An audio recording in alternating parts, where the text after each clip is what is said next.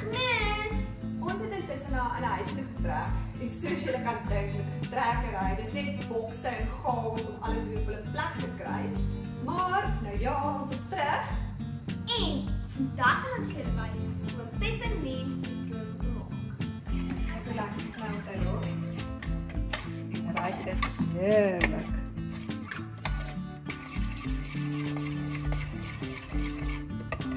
Daarna vat jy dit plastiekhouer wat nie kan smelt nie.